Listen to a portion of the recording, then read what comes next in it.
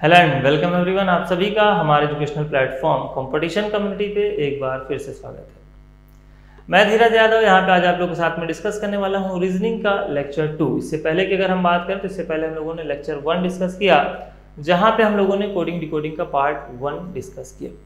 Coding decoding की अगर हम पार्ट वन की बात करें तो यहाँ पे हम लोगों ने इस पर्टिकुलर चैप्टर से जुड़े हुए कुछ बेसिक कॉन्सेप्ट जैसे कि आपका अल्फ़ाबेट की प्लेस वैल्यू इसके अपोजिट लेटर्स कुछ पैटर्न्स और अगर हम बात करें टाइप्स ऑफ़ क्वेश्चंस की तो टाइप्स ऑफ़ क्वेश्चंस के अंतर्गत हम लोगों ने अल्फ़ाबेटिकल कोडिंग और सेल्फ कोडिंग को भी डिस्कस किया। अगर हम बात करें प्रीवियस क्लास की तो प्रीवियस क्लास में हम लोगों ने अल्फ़ाबेटिकल कोडिंग में वेरियस लॉजिक्स को भी सीखा, जो कि आज के इस सेशन में हम लोग क्या करने वाले हैं? यूज़ करने वाले हैं। तो आज के इस सेशन में हम लोग डिस्कस करेंगे न्यूमेरिकल कोडिंग लेकिन इससे पहले कि मैं आज का सेशन स्टार्ट करूँ, कुछ महत्वपूर्ण बातें मैं आप लोगों को बता देना चाहता हूँ। जैसा कि प्रीवियस लेक्चर में स्टार्टिंग में ही मैंने आप लोगों को बताया था कि आप लोगों को इस पर्टिकुलर लेक्चर का जो शॉर्ट नोट्स है, या साथ ही साथ चैप्टर कंप्लीट होने के बाद जो इससे जुड़े हुए आपके लिए प्रैक्टिस क्वेश्चंस हैं, वो आपको टेलीग्राम ग्रुप या टेलीग्राम चैनल के माध्यम से उपलब्ध कराए जाएँगे। जो कि किसी कारणवश संभव नहीं हो सका, लेकिन जो भी आपके शॉर्ट नोट्स थे उस पर्टिकुलर लेक्चर से जुड़े हुए या उसके बाद जो भी लेक्चर्स आपको प्रोवाइड कराए गए, फिर चाहे वो आपका जीएस का लेक्चर रहा हो, या फिर आपका मैथ्स का रहा हो, या फिर इंग्लिश की हम बात करें। तो इन सभी लेक्चर्स के जो शॉर्ट नोट्स हैं, वो आपको ऑलरेडी कंपटीशन कम्युनिटी की वेबसाइट पे अवेलेबल करा दिए गए हैं, जहाँ से जाकर के आप क्या कर सकते हैं, इसको डाउनलोड कर सकते हैं। क्लियर तो आई होप कि इस समस्या से जो भी जुड़ी हुई आप लोगों के मन में दुविधाएँ थी, वो अभी क्या हो गई होंगी? क्लियर हो गई होंगी तो चलिए स्टार्ट करते हैं हम लोग आज का हमारा सेशन आज की अगर हम सेशन की बात करें, जैसा कि मैंने कहा हम लोग यहाँ पे डिस्कस करने वाले हैं न्यूमेरिकल कोडिंग यहाँ पे जैसा कि मैंने आप लोगों को ऑलरेडी बताया था लेक्चर वन में कि यहाँ पे आपको कुछ वर्ड्स दिए गए होंगे और उनके कोड नंबर्स के फॉर्म में दिए गए होंगे. जैसे कि हम अल्फाबेटिकल कोडिंग की बात करते हैं तो वहाँ पे जो भी आपके दिए गए वर्ड्स के लिए कोड होते थे, वो लेटर्स के फॉर्म में होते थे, लेकिन यहाँ पे आपको नंबर्स के फॉर्म में कोड देखने को मिल रहे हैं। अच्छा जैसा कि हम लोगों ने अल्फाबेटिकल कोडिंग में जो भी लॉजिक सीखे, वो तो हम लोग यहाँ पे यूज़ करेंगे ही करेंगे, साथ ही साथ कुछ नए लॉजिक्स के साथ में भी हम लोग यहाँ पे इंट्रोड्यूस होने वाले हैं। तो फ़र्स्ट ऑफ़ ऑल हम लोग बात करेंगे अप्रोच की। तो जो अप्रोच हम लोग अभी तक लगाते आ रहे थे, हम लोग उसी अप्रोच को यहाँ भी फॉलो करने वाले हैं। सबसे पहले हम बात कर लेते हैं यहाँ पे क्वेश्चन की। क्वेश्चन में आपको दिया गया है in a certain code language cadre is written as six two eight one four and born is written as 5317 then how is road written in that code? Clear? तो काफ़ी कुछ हम सीख चुके हैं, और सीख चुके हैं तो हम यूज़ क्यों ना करें, कैसे खुद को रोक पाएँगे, है ना? तो हम क्या करेंगे? फटाफट से लिखेंगे कैडर उसके नीचे लिखेंगे कोड और लगाने लग जाएँगे लॉजिक कि आखिर किस लॉजिक के अंतर्गत यहाँ पे सी को हमने सिक्स बनाया या टू बनाया, जो भी आपके गिवन नंबर्स हैं। तो थोड़ा पेशेंसफुली आपको इतना हड़बड़ी नहीं करना है। सबसे पहले आपको क्या चेक कर लेना है? जो आपके गिवन वर्ड है, जैसा कि यहाँ पे दिया गया है कैडर और बॉर्न दो आपको गिवन वर्ड्स के लिए कोड दिए गए हैं और तीसरे वर्ड के लिए पूछा गया है। तो इस प्रकार के प्रश्न में जो सबसे पहले आपका अप्रोच होना चाहिए, वो क्या होना चाहिए, उसके बारे में लोग चर्चा करेंगे। फ़र्स्ट ऑफ़ ऑल हमें ये चेक करना है कि जो हमारा गिवन वर्ड है, यानी कि कैडर एंड बॉर्न और जिसके लिए कोड पूछा गया है तो ध्यान दीजिए, जो गिवन वर्ड है, अगर उसी के लेटर को लेकर के हम, जिसके लिए कोड पूछा गया है, वो वर्ड हम फॉर्म कर सकते हैं। फिर से ध्यान दीजिए, यानी कि जिसके लिए हमें कोड बताना है, अगर हम उस शब्द का निर्माण दिए गए शब्दों के अक्षरों, यानी कि लेटर से हम कर सकते हैं तो हमें यहाँ पे कुछ भी लॉजिक लगाने की आवश्यकता नहीं जैसे कि हम बात करेंगे, यहाँ पे आर की पोजीशन फोर्थ है फोर्थ नंबर पे आपको वन दिखाई दे रहा है। यहाँ बॉन्ड में आर की पोजीशन थर्ड है थर्ड नंबर पे आपको वन दिखाई दे रहा है। यानी कि हम कह सकते हैं, हर एक पर्टिकुलर लेटर के लिए एक कोड यहाँ पे है। और अगर हम बात करें उस कोड की तो वो सेम पोजीशन पे है, या कह सकते हैं कि लेटर के सामने ही। अगर इसको हम लिखते हैं प्रीवियस अप्रोच से तो लेटर के सामने ही आपको उसका कोड दिखाई दे जाता। अब अपने को कोई भी लॉजिक लगाने की आवश्यकता नहीं है। आर यहाँ पे है आर यहाँ पे है तो यहाँ पे भी आर के लिए कोड क्या हो जाएगा? वन हो जाएगा।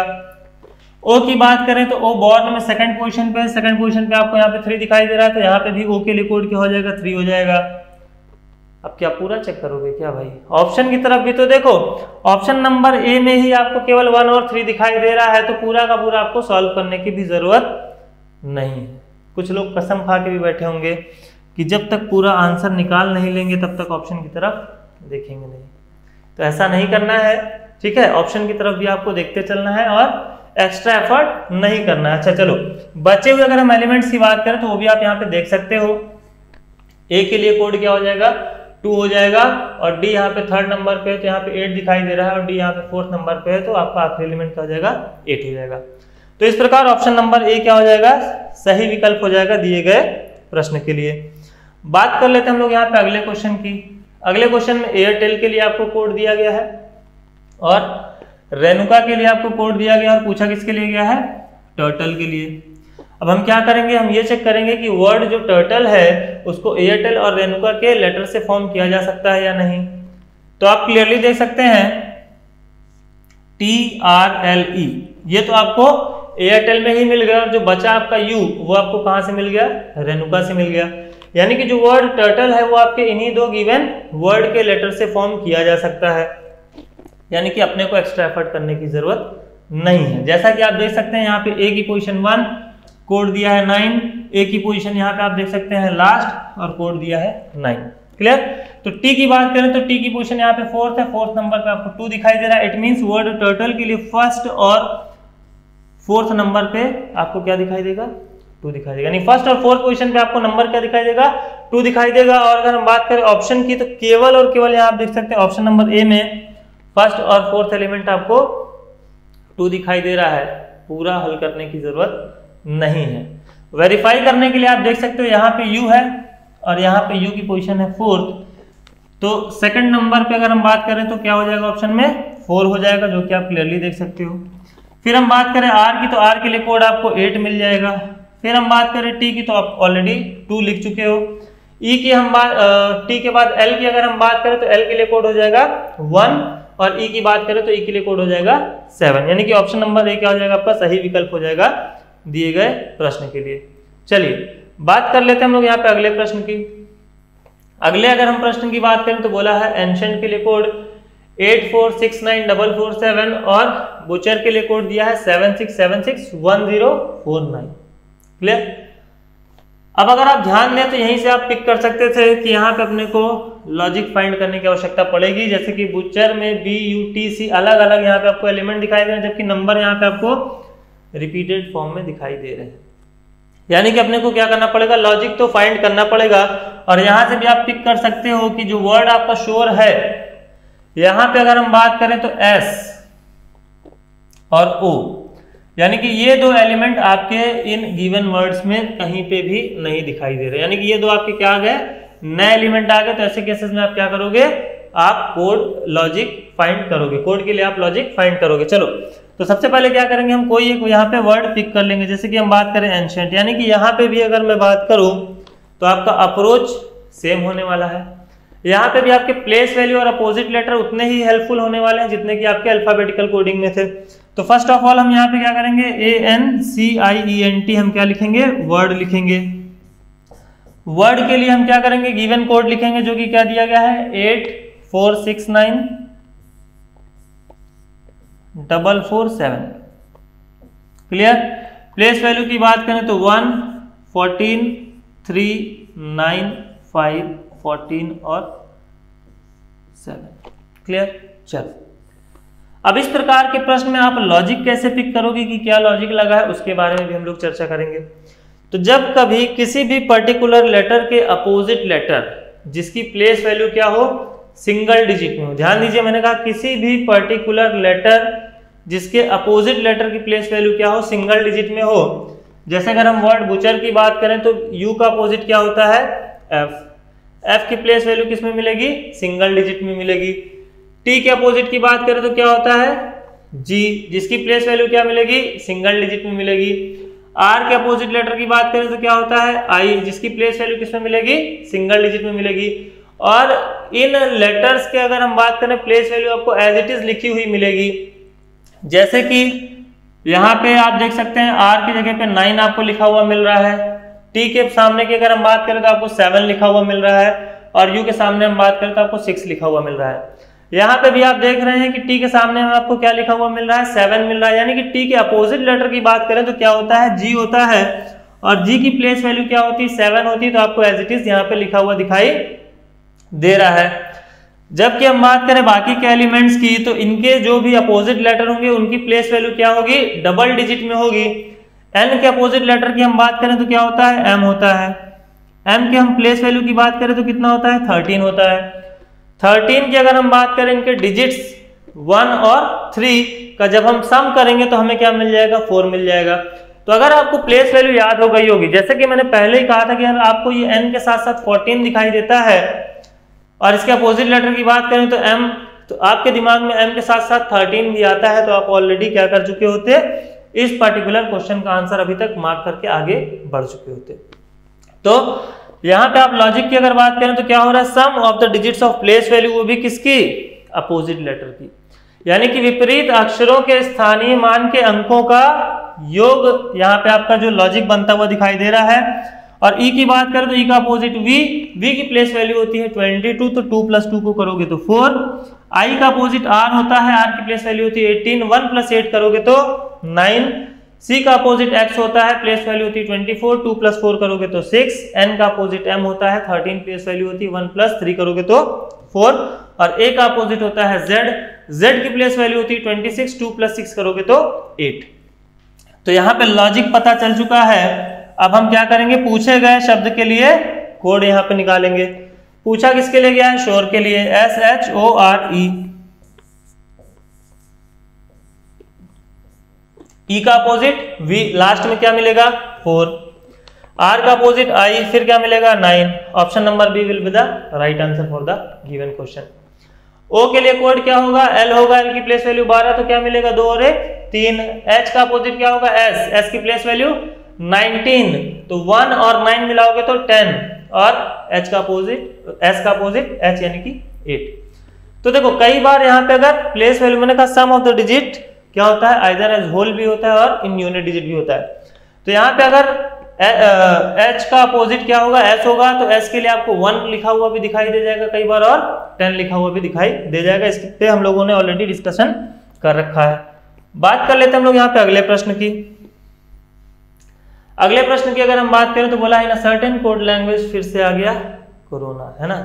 जैसे जैसे आपकी लहर आ रही है वन टू थ्री करके वैसे वैसे लेक्चर में आपको वर्ड कोरोना भी दिखाई दे रहा है। चलिए, अगर हम बात करें कोरोना के लिए कोड दिया गया है four seven one zero six seven six two और पूछा किसके लिए गया है? एक्टिव के लिए। चलो, वैसे वाकई में कोरोना क्या है? एक्टिव है फ़िलहाल अभी। चलो तो अगर हम बात करें यहाँ पे सीधे सीधे अपने को क्या करना है? लॉजिक फाइंड करना है तो सबसे पहले हम क्या लिखेंगे?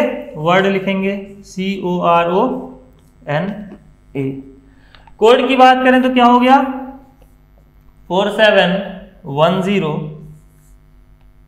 seven six two.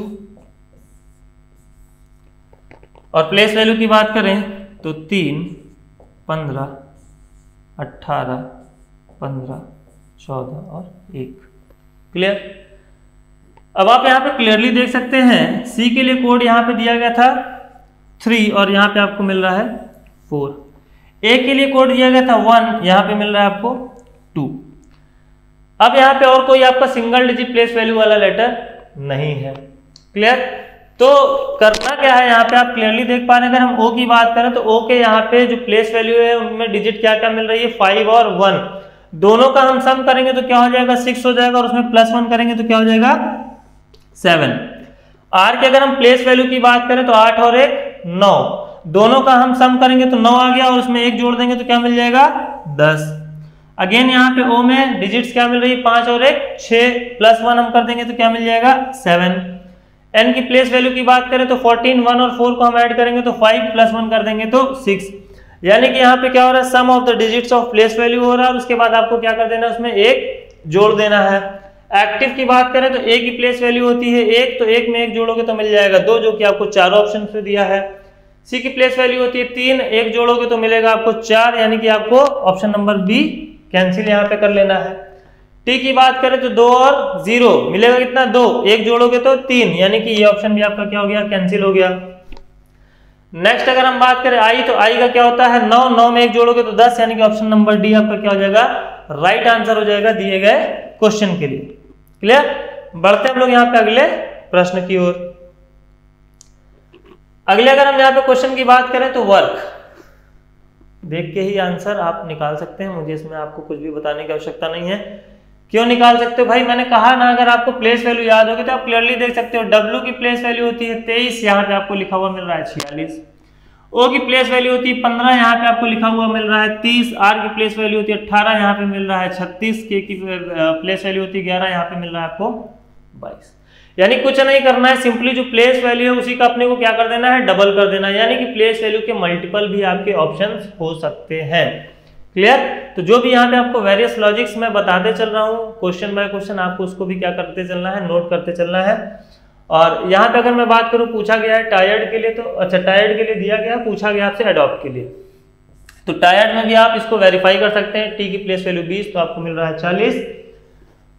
उसके बाद आई की प्लेस वैल्यू नौ तो मिल रहा है अठारह आर की प्लेस वैल्यू अठारह तो मिल रहा है छत्तीस ई की प्लेस वैल्यू पाँच तो मिल रहा है दस और डी की प्लेस वैल्यू चार तो मिल रहा है आपको आठ।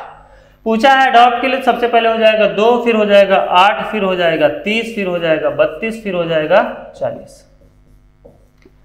किसी भी आप ऑप्शन में अगर ये आपको दिखाई दे तो वही क्या हो जाएगा आपका? सही आंसर हो जाएगा। सबसे पहले दो, आठ, तीस, दो, आठ, तीस, बत्तीस, चालीस। यानी कि आप देख सकते हैं ऑप्शन नंबर बी। चलिए, बढ़ते हम लोग अगले क्वेश्चन की ओर। अब ध्यान देना, यहाँ पे आपको कुछ चीज़ें नोट कर लेना है। जब कभी भी इस प्रकार से आपको दिए गए वर्ड्स के लिए कोड दो अंकों में, तीन अंकों में इस प्रकार से आपको दिखाई दे तो वहाँ पे कुछ लॉजिक्स आपके लगे हुए हो सकते हैं, उसके बारे में हम लोग यहाँ पे चर्चा करेंगे। तो फ़र्स्ट ऑफ़ ऑल क्या करोगे आप? फ़र्स्ट ऑफ़ ऑल आपको क्या करना है, उसके बारे में हम लोग बात करेंगे। तो चार, अट्ठारह पाँच, एक और तेरह। और जो भी मैं यहाँ पे लॉजिक्स आप लोगों को बता रहा हूँ, वो आपका ज़रूरी नहीं कि दिए गए लेटर्स के लिए ही हो। जितने भी मैं प्रकार के लॉजिक्स की बात करूँगा, वो अपोजिट लेटर्स के लिए भी हो सकते हैं। तो चलिए, सबसे पहले आप क्या करोगे यहाँ पे? सबसे पहले आप करोगे sum of the place value सबसे पहले आपको लॉजिक क्या चेक कर लेना है? Sum of the place value लिख लो। Sum of the place value of letters यानी कि अक्षरों के स्थानीय मान का योग। सबसे पहले आप क्या चेक करोगे? अक्षरों के स्थानीय मान का योग। इसके बाद सेकंड आपको क्या चेक कर लेना है? Sum of the digits of place value place value of letters या फिर गिवन लेटर्स यानी कि दिए गए अक्षरों के स्थानीय मान के अंकों का योग, दिए गए अक्षरों के स्थानीय मान के अंकों का योग, और ये आप कैसे चेक करोगे? आइदर एज होल और इन यूनिट डिजिट अब इसका मतलब क्या हुआ? इसको भी मैं यहाँ पे समझा दे रहा हूँ। देखो, चार ये हो गया। चार में अट्ठारह जोड़ोगे। यहाँ पे मैं डिजिट्स की बात कर रहा हूँ तो अट्ठारह नहीं जोड़ना है आपको। दोनों तरीके में बताऊँगा, दोनों तरीके से जो रिज़ल्ट आएगा वो भी आपका सेम आने वाला है। अगर आप इसको अट्ठारह जोड़ लेते हो तो देखो क्या होगा। अट्ठारह चार, बाईस, पाँच, सत्ताईस, एक, अट्ठाईस अट्ठाईस में तेरह जोड़ोगे तो अट्ठाईस तीन, इकतीस, दस, इकतालीस फोर्टी वन और फोर प्लस वन करोगे तो आपको मिलेगा फाइव और इसको अगर आप ऐसा डिजिट जोड़ते चलोगे तो भी आपको फाइव मिलेगा। कैसे? चार, एक, पाँच, आठ, पाँच, तेरह, यानी तीन, एक, क्या हो गया? चार हो गया, चार, पाँच, नौ नौ, एक, दस दस में वन और ज़ीरो को मिलाओगे, फिर से एक हो गया, और उसके बाद यहाँ पे दो और तीन, पाँच, फिर भी आपको क्या मिलेगा? पाँच मिलेगा। तो आप कैसे भी इसको करोगे, आपको आंसर क्या मिलेगा? सेम मिलेगा। तो ये हो गया, कब हम जब यूनिट डिजिट की बात करेंगे। और जब हम एज अ होल की बात करेंगे तो उसमें आपको क्या आंसर आने वाला है, उसके बारे में देख लेते हैं। चार, एक, पाँच, आठ, पाँच, तेरह तेरह, पाँच, अट्ठारह अट्ठारह, एक, उन्नीस उन्नीस, तीन, बाईस, एक, तेईस। जब इसको हम सम ऑफ़ डिजिट क्या करते हैं एज होल करते तो हमें मिलता है तेईस। और जब हम क्या करते हैं? यूनिट डिजिट में करते हैं तो क्या मिलता? है पाँच मिलता। तो कैसे भी आपको यहाँ पे पूछा जाए, आप क्या कर लेंगे? लॉजिक फाइंड कर लेंगे। इसके अलावा अगर हम बात करें तो क्या हो सकता है? आपका अगर हम बात करें तो जितने भी नंबर ऑफ़ लेटर्स हैं, अगला आप लोग यहाँ पे लॉजिक नोट करके लिखोगे नंबर ऑफ़ लेटर्स यहाँ पे मैं लिख दे रहा हूँ। चलिए, यहाँ पे लिख रहा हूँ नंबर ऑफ़ लेटर्स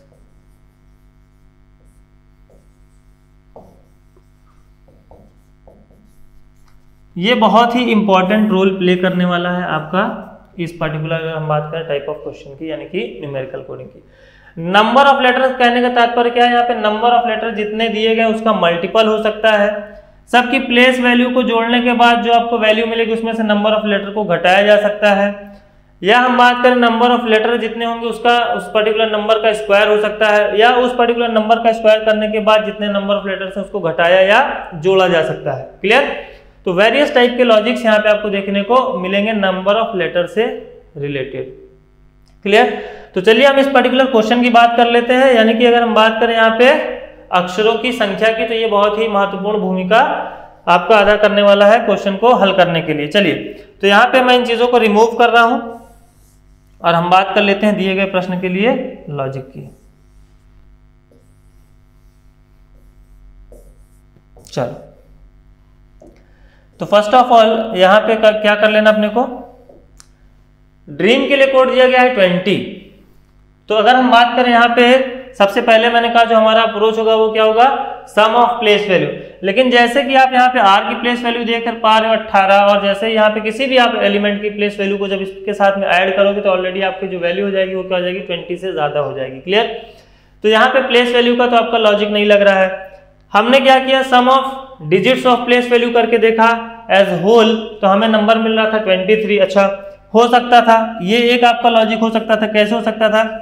जब हमने सबका योग किया तो हमें मिला 23 और अगर इसमें से हम क्या करें? नंबर ऑफ़ अगर हम यहाँ पे कॉन्सोनेंट्स घटा दें, यानी कि डी आर और एम नंबर ऑफ़ कॉन्सोनेंट्स घटा दें तो हमें क्या मिल जाएगा? 20 मिल जाएगा। तो ये एक लॉजिक हो सकता है। क्या हो सकता है? ये लॉजिक हो सकता है, लेकिन ये अप्लीकेबल कहाँ होना चाहिए? एडमायर पे भी होना चाहिए। एडमायर के अगर हम ए की प्लेस वैल्यू की बात करें तो एक डी की तो चार एम की तेरह आई की नौ आर की अट्ठारह और ई की पाँच। सब के अगर हम क्या करें प्लेस वैल्यू की डिजिट्स का सम करें तो चार, एक, पाँच, एक, छह, तीन, नौ नौ, अट्ठारह, एक, उन्नीस और आठ, सत्ताईस और पाँच, बत्तीस। अब बत्तीस में अगर हम यहाँ पे नंबर ऑफ़ कॉन्सोनेंट्स घटाएँ तो डी है एम है आर तीन है। यानी कि यहाँ पे हमको नंबर क्या मिल रहा है? उनतीस मिल रहा है। अगर यहाँ पे हमको नंबर उनतीस दिया होता तो हम क्या करते फिर? चेक करते डेस्टिनी के लिए। लेकिन जैसे कि ये लॉजिक अप्लीकेबल होता है वो नहीं दिखाई दे रहा तो हम क्या करेंगे? कुछ दूसरे लॉजिक्स की भी हम लोग यहाँ पे बात करेंगे। तो अगर मैं बात करूँ यहाँ पे, अगला हम लोगों ने क्या सीखा था? Number of letters number of letters की अगर हम बात करें तो नंबर ऑफ़ लेटर्स कितने हैं? पाँच। पाँच का अगर मैं स्क्वायर करूँ तो आपको वैल्यू क्या मिलेगी? पच्चीस। और माइनस क्या कर देना है अपने को? नंबर ऑफ़ लेटर तो क्या मिल जाएगा? बीस। कैसे भी बने, अपने को नंबर बनाना है। और फिर क्या करना है? दिए गए वर्ड के लिए, यानी कि जो दूसरा आपका यहाँ पे दिया गया वर्ड है, उसके लिए भी हम क्या करना है? सेम लॉजिक अप्लाई करके देखना है कि क्या वो नंबर बन रहा है या नहीं बन रहा है। नंबर ऑफ़ लेटर कितने हैं? छह छह का स्क्वायर करोगे? छत्तीस। माइनस छह करोगे तो कितना आएगा? तीस। या यू कह सकते हो कि जितने नंबर ऑफ़ लेटर्स हैं, उससे एक कम करके क्या कर देना है? नंबर ऑफ़ लेटर्स में मल्टीप्लाई कर देना है। तो पूछा किसके लिए गया है? पूछा आपसे गया है डेस्टिनी के लिए। डेस्टिनी में नंबर ऑफ़ लेटर्स कितने हैं? सात। सात का स्क्वायर करोगे तो उनचास, माइनस सात कर दोगे तो बयालीस। Option number B. तो आई होप कि यहाँ पे आप वेरियस लॉजिक्स के साथ में फैमिलियर होते हुए चल रहे हैं। अभी यहाँ पे हम लोग एग्ज़ाम में पूछे गए प्रश्नों की भी बात करेंगे। क्लियर तो वहाँ पे भी आप इन लॉजिक्स के साथ में अगर फैमिलियर नहीं है तो क्वेश्चन बना पाना आपके लिए काफ़ी मुश्किल होने वाला है। चलिए बात कर लेते हैं हम लोग यहाँ पे अगले प्रश्न की। अगले अगर मैं प्रश्न की बात करूँ तो बोला गया है L A P T O P laptop और लैपटॉप के लिए आपको कोड क्या दिया गया? Two nine five one approach की बात करें तो प्लेस वैल्यू होगी बारह, एक, सोलह, बीस, पंद्रह, सोलह। सबसे पहले क्या करते थे हम लोग? सम ऑफ़ प्लेस वैल्यू तो बारह, एक, तेरह तेरह और सोलह करोगे तो उनतीस। देखो ध्यान दो यहाँ पे। जैसे ही उनतीस दिखा यहाँ पे भी आपको उनतीस दिख रहा है। अच्छा यहाँ पे देखेंगे तो 20, 15, 16 15 और 16 करोगे तो 31 और 20 जोड़ोगे तो इक्यावन। यानी कि फ़र्स्ट हाफ़ का सम ये दो हो गया और सेकंड हाफ़ का सम ये दो हो गया। अच्छा नेक्स्ट में भी हम क्या कर लेते हैं? चेक कर लेते हैं। मोबाइल में नंबर ऑफ़ लेटर्स कितने हैं? छह। एम की प्लेस वैल्यू तेरह ओ की प्लेस वैल्यू पंद्रह और बी की प्लेस वैल्यू दो। यानी कि पंद्रह पंद्रह तीस। फ़र्स्ट में आपको यहाँ पे फ़र्स्ट हाफ़ में मिल रहा है तीस।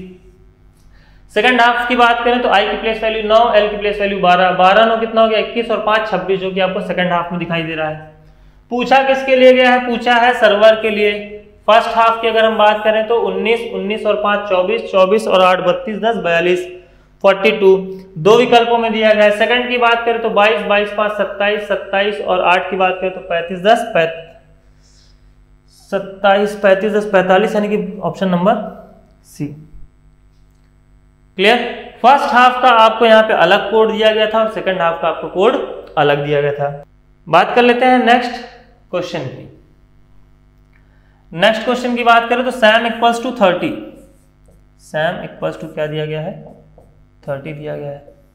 फ़र्स्ट ऑफ़ ऑल हम लोग क्या करेंगे? सम ऑफ़ प्लेस वैल्यू उन्नीस, एक, बीस और तेरह, तैतीस। तैतीस में अगर हम क्या करेंगे? नंबर ऑफ़ लेटर्स को माइनस करेंगे तो कितना मिल जाएगा? तीस। अगले में चेक करते हैं। रीता यानी कि अगर हम बात करें यहाँ पे R I T A place value की बात करें तो अठारह नौ बीस और एक। तो 20, 20, 40 और 8, 48, 48, 48 में हम अगर चार माइनस करेंगे तो कितना मिल जाएगा? 44, जो कि आपका ऑप्शन नंबर सी में दिया गया है। क्लियर चलिए बात कर लेते हैं हम लोग अगले क्वेश्चन की। जब आप लॉजिक्स के साथ में फैमिलियर होंगे जब आप प्लेस वैल्यू लिखने की आपको यहाँ पे आवश्यकता नहीं होगी, जब आप माइंड में क्या कर पाएँगे कैलकुलेट कर पाएँगे तो आप इस तरीके के क्वेश्चंस को ओरली हल करने वाले हो। हालाँकि हम एग्ज़ाम में पूछे गए प्रश्नों की भी यहाँ पे चर्चा करेंगे। चलिए, बात कर लेते हम यहाँ पे अगले क्वेश्चन की। अगले क्वेश्चन में आपको दिया गया है potato P O T A T O potato is written as thirty one यहाँ पे हम क्या करेंगे? प्लेस वैल्यू की बात करेंगे तो सोलह, पंद्रह, बीस, एक, बीस और पंद्रह। सबसे पहले क्या करना था? सम ऑफ़ प्लेस वैल्यू आपको पता है प्लेस वैल्यू करोगे तो 20 20 ऑलरेडी आपको 40 क्या दिखाई दे रहा है? ज़्यादा दिखाई दे रहा है। फिर हम क्या करेंगे? Sum of the digits of place value की बात करेंगे तो छह, एक, सात सात, एक, आठ आठ, पाँच, बारह, आठ, पाँच, तेरह तेरह, दो, पंद्रह पंद्रह, एक, सोलह सोलह, दो, अट्ठारह अट्ठारह, एक, उन्नीस, पाँच, तेईस। अच्छा चलो। उन्नीस, पाँच अपने को कितना मिल गया? सॉरी चौबीस। यहाँ पे बात करें, उन्नीस और पाँच चौबीस मिल गया। और उसके बाद अगर हम यहाँ पे नंबर ऑफ़ लेटर्स को भी जोड़ते हैं, यानी कि छह लेटर्स को भी जोड़ते हैं तो यहाँ पे हमको 31 नहीं मिल रहा है। या फिर हो सकता था कि जितने नंबर ऑफ़ लेटर्स है, उससे एक ज़्यादा जोड़ना है। यानी कि हमें क्या करना है? सम ऑफ़ डिजिट्स का लेना है तो छह एक सात एक आठ पाँच तेरह दो पंद्रह एक सोलह दो अट्ठारह और पाँच तेईस और एक चौबीस। और नंबर ऑफ़ लेटर्स है छह तो उससे एक ज़्यादा जोड़ ले, सात जोड़ ले तो कितना मिल जाए? इकतीस मिल जाए। तो हमें चेक करना है क्या अगले दिए गए वर्ड में ये लॉजिक अप्लीकेबल हो रहा है कि नहीं हो रहा है? तो यहाँ पे हम बात करेंगे तो 19 तीन, आठ, पंद्रह पंद्रह और बारह। सबका अगर हम डिजिट्स का सम करें तो नौ, एक, दस, तीन, तेरह, आठ, इक्कीस, एक, बाईस, पाँच, सत्ताईस, एक, अट्ठाईस, पाँच, तैतीस, एक, चौतीस और दो। ऑलरेडी ये क्या हो गया? ज़्यादा हो गया किससे? थर्टी से। यानी कि अब हम यहाँ किसी और लॉजिक की बात करेंगे, ये लॉजिक यहाँ पे हमको लगता हुआ दिखाई नहीं दे रहा है। क्लियर चलो, अगर यहाँ पे हम बात करें थर्टी वन देखो, पंद्रह पंद्रह तीस और एक इकतीस। यानी कि हम वॉवल और कॉन्सोनेंट की बात करें जैसा कि हम लोग ऑलरेडी वॉवल और कॉन्सोनेंट के बारे में डिस्कस कर चुके हैं, जब हम लोग बात कर रहे थे किसकी? अल्फाबेटिकल कोडिंग की। और अभी जिन लोगों ने भी रिसेंट में पाँच तारीख को एग्ज़ाम दिया है तो वहाँ पे भी वॉवल और कॉन्सोनेंट से रिलेटेड आपको कोडिंग डिकोडिंग का क्वेश्चन देखने को मिल जाएगा। क्लियर चलिए, अगर मैं बात करूँ यहाँ पे क्वेश्चन की, चलिए। तो यहाँ पे आपका जो लॉजिक है वो क्या है? केवल वॉवेल की प्लेस वैल्यू का सम हो रहा है। स्कूल की बात करें तो पंद्रह और पंद्रह तीस। और पूछा किसके लिए गया है? पूछा गया है रिप्लेस के लिए। तो पाँच, एक, छ और तीन सॉरी छ और पाँच, ग्यारह। ऑप्शन नंबर डी यानी कि केवल हमको क्या कर लेना था? वॉवेल की प्लेस वैल्यू का सम करना था। कॉन्सोनेंट्स को कंसिडर नहीं करना था। कई बार आपको वॉवेल और कॉन्सोनेंट की प्लेस वैल्यू का डिफरेंस ये लॉजिक भी लगता हुआ दिखाई देगा। चलिए बात कर लेते देखो मैंने कहा था एग्ज़ाम में पूछे गए प्रश्नों पे भी हम लोग क्या करेंगे? डिस्कशन करेंगे। तो ये आपके एग्ज़ाम में पूछा गया प्रश्न है। यहाँ पे हम लोग क्या करेंगे? लॉजिक पे बात करेंगे कि लॉजिक जो आपका लगा यानी कि अभी तक जो चीज़ें हम लोगों ने सीखी क्या उसके माध्यम से हम दिए गए प्रश्न का लॉजिक हल आ, हल क्वेश्चन को हल कर पाएँगे? क्या हम लॉजिक फाइंड कर पाएँगे या नहीं? चलिए बात कर लेते हैं यहाँ पे सबसे पहले लाइबिलिटी की। वर्ड दिया गया है लाइबिलिटी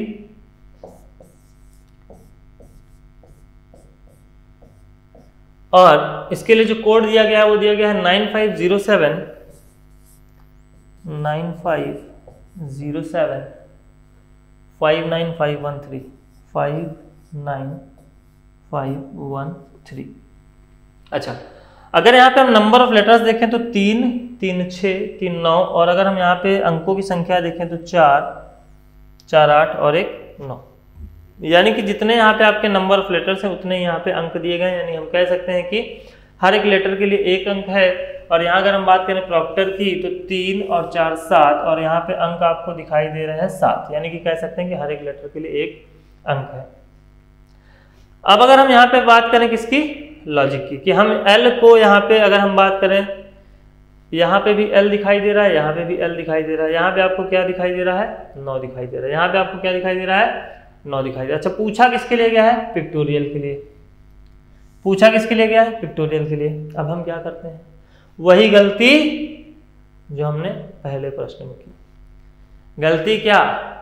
जैसे ही क्वेश्चन देखा, लग गए लॉजिक लगाने।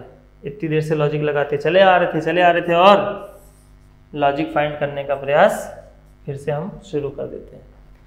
तो मैंने कहा कि अप्रोच क्या होना चाहिए? सबसे पहले ये हमें देखना है कि जो आपके दो गिवन वर्ड्स हैं, उनके लेटर्स को यूज़ करके तीसरा वर्ड फॉर्म किया जा सकता है या नहीं? और अगर हम बात करें यहाँ पे वर्ड पिक्टोरियल की तो पी आपको मिल रहा है प्रॉक्टर में। आई मिल जा रहा है आपको लाइबिलिटी से सी मिल जा रहा है आपको प्रॉक्टर से टी मिल जा रहा है आपको दोनों से। ओ भी मिल जा रहा है आर भी मिल जा रहा है आई ए एल यानी कि आपके सारे के सारे एलिमेंट यहाँ पे मौजूद हैं। किसके एलिमेंट वर्ड लाइबिलिटी और प्रॉक्टर से लिए गए एलिमेंट यहाँ पे कोई भी अलग से आपको एलिमेंट बनता हुआ दिखाई नहीं दे रहा है। दूसरी चीज़ हमने क्या फाइंड कर ली? एल के सामने यहाँ भी नाइन एल के सामने यहाँ भी नाइन यानी कि हर एक लेटर का कोड उसके सामने सामने लिखा गया है। तो बात करें पी की तो पी यहाँ भी पहला एलिमेंट है पी यहाँ भी पहला एलिमेंट है तो पहला एलिमेंट क्या हो जाएगा? आपका एट हो जाएगा। आई की बात करें तो आई यहाँ दूसरा एलिमेंट है, यहाँ भी दूसरा एलिमेंट है तो दूसरा एलिमेंट आपका क्या हो जाएगा? फाइव हो जाएगा। फिर उसके बाद हम बात करें सी की तो सी यहाँ चौथा एलिमेंट है और यहाँ चौथा एलिमेंट क्या दिखाई दे रहा है? टू दिखाई दे रहा है, जो कि आपके केवल और केवल एक ऑप्शन में बनता हुआ दिखाई दे रहा है एट फाइव टू बाकी के एलिमेंट्स को भी आप वेरीफाई कर सकते हो। टी की बात करें टी यहाँ सेकंड लास्ट सेकंड लास्ट आपका क्या है? वन फिर ओ की बात करें ओ यहाँ सेकंड लास्ट सेकंड लास्ट आपका क्या दिखाई दे रहा है? फोर फिर हम बात करें यहाँ पे आर की आर आपका लास्ट एलिमेंट है लास्ट एलिमेंट आपका दिखाई दे रहा है सिक्स फिर हम बात करेंगे किसकी? आई की। तो आई के लिए ऑलरेडी आप कोड क्या लिख चुके हो? फाइव लिख चुके हो। फिर हम बात करें ए की तो ए यहाँ पे थर्ड एलिमेंट है और थर्ड एलिमेंट पे कोड आपको क्या दिखाई दे रहा है? ज़ीरो और अगर हम बात करें एल की तो एल यहाँ पे फ़र्स्ट एलिमेंट है और उसके लिए कोड आपको दिखाई दे रहा है नाइन तो इस प्रकार से आप इसको वेरीफाई भी कर सकते हैं। एग्ज़ाम में वेरीफाई मत करने लग जाना भाई, ठीक है? सीधे सीधे क्या करोगे? जब बाकी विकल्प आपको नहीं दिखाई दे रहे हैं तो जितने एलिमेंट मिल गए, उसी को आप एज आंसर मार्क करके आगे बढ़ेंगे। चलिए, एक और क्वेश्चन जो कि आपके एग्ज़ाम में पूछा गया है, अगर हम इसकी बात करें तो बोला है in a certain code language semantic is coded as one double four eight five two nine three चलिए, लिखते हैं। S E M A N T I C अगर हम इसके कोड की बात करें तो बोला है one four four, one four four eight, five two nine three, five two nine three. चलिए, अब पूछा किसके लिए यहाँ पे कोड गया है? प्रैक्टिस के लिए पूछा गया है। यानी कि यहाँ पे आपको दो वर्ड नहीं गिवन है, एक ही वर्ड गिवन है और अगर हम बात करें अलग से एलिमेंट की तो अलग से एलिमेंट भी यहाँ पे आपको मौजूद दिखाई दे रहा है। तो सबसे पहले हम क्या करेंगे? प्लेस वैल्यू लिखेंगे। Nineteen five four one, fourteen, twenty, nine और थ्री। थ्री के लिए यहाँ पे आपको थ्री दिखाई दे रहा है। नाइन के लिए यहाँ पे आपको नाइन दिखाई दे रहा है। अच्छा टू और ज़ीरो देखोगे तो टू दिखाई दे रहा है। वन और फोर देखोगे तो फाइव दिखाई दे रहा है। वन की जगह पे आपको एट दिखाई दे रहा है। तो देखिए, यहाँ पे भी हम लॉजिक की बात करें। अगर हम नाइनटीन की बात करें तो वन प्लस नाइन करोगे तो कितना हो जाएगा? टेन हो जाएगा। और वन प्लस ज़ीरो करोगे तो कितना हो जाएगा? वन हो जाएगा। तो यहाँ पे आपको वन बनता हुआ दिखाई दे रहा है। ई e की हम बात करें तो यहाँ पे फाइव लिखा हुआ, जबकि आपको फोर दिखाई दे रहा है। तो ध्यान दीजिए ई e क्या है? एक वॉवेल है। यहीं से आप इसको पिक कर सकते थे। ई e क्या है? एक वॉवेल है। और यहाँ पे अगर हम ई e के अपोजिट लेटर की बात करें तो वी वी की place value twenty two two plus two करोगे तो फोर टू प्लस टू करोगे तो क्या हो जाएगा? फोर हो जाएगा। उसके बाद यहाँ पे एम की प्लेस वैल्यू मैंने गड़बड़ लिख दी है। बाय मिस्टेक ये हो जाएगा थर्टीन चलिए, फिर उसके बाद अगर हम बात करें यहाँ पे एम की प्लेस वैल्यू की तो एम की प्लेस वैल्यू होती थर्टीन वन प्लस थ्री करोगे तो यहाँ पे आपको क्या मिल जाएगा? फोर मिल जाएगा। और ए क्या है? एक वॉवेल है। और ए का अपोजिट लेटर होता है जेड जेड की प्लेस वैल्यू कितनी होती है? ट्वेंटी सिक्स और टू प्लस सिक्स करोगे तो क्या मिल जाएगा? एट मिल जाएगा।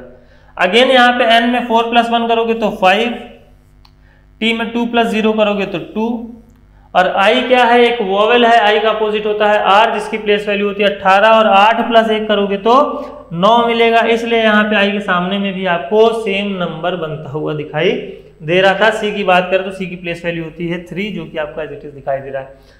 अगर हम यहाँ पे लॉजिक की बात करें तो यहाँ पे भी आपको वोवेल और कॉन्सोनेंट का लॉजिक लगता हुआ दिखाई दे रहा है। यानी कि जो भी आपके कॉन्सोनेंट वाले एलिमेंट्स हैं, उनकी प्लेस वैल्यू का अपने को सम कर देना है। और जो आपके यहाँ पे वॉवेल्स मौजूद हैं, उनके अपोजिट लेटर की प्लेस वैल्यू का अपने को क्या कर देना है? सम कर देना है। दोनों ही प्रकार के लॉजिक्स के साथ में हम लोग क्या है? फैमिलियर हैं। तो सबसे पहले अगर हम बात करें यहाँ पे प्रैक्टिस में पी क्या है आपका? कॉन्सोनेंट है। आर क्या है? कॉन्सोनेंट है। C consonant T consonant C consonant तो सी की जगह पे मिलेगा आपको थ्री एक ऑप्शन कैंसिल टी की जगह पे आपको मिलेगा टू यानी कि केवल और केवल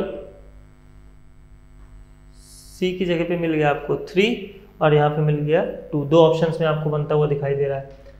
फिर हम बात करेंगे यहाँ पे सी की तो फिर से आपको मिलेगा थ्री यानी कि टू के पहले फिर से आपको क्या मिलेगा थ्री तो देखिए थ्री थ्री उसके बाद यहाँ पे आपको मिला टू यानी कि अभी भी यहाँ पे आप ऑप्शंस को एलिमिनेट नहीं कर सकते। यानी कि यहाँ पे देखो थ्री टू थ्री आठ, एक, नौ और छ एक, सात। एक अपोजिट जेड तो आठ आई का अपोजिट आर तो नौ और ई का अपोजिट बी तो चार।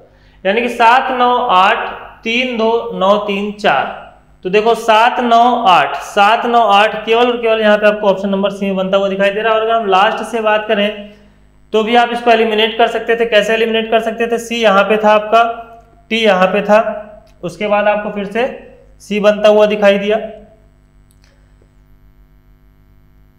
और यहाँ पे जाके आपका ऑप्शन क्या होता? एलिमिनेट होता अगर आप ए के लिए निकालते और उसके पहले अगर आप आते आर के लिए तो आठ एक नौ। वो भी आपको यहाँ पे दोनों में कॉमन बनता हुआ दिखाई दे रहा था। क्लियर यानी कि आपको वॉवल की प्लेस वैल्यू यहाँ पे क्या करनी पड़ती?